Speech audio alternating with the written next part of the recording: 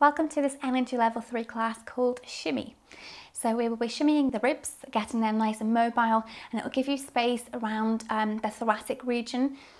Reach the arms, grip through that left buttock.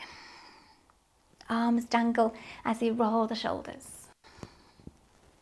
Right hand stays down, shift the weight over slightly as you bend the left elbow, make a fist, pull back, and then lower, and then the other side.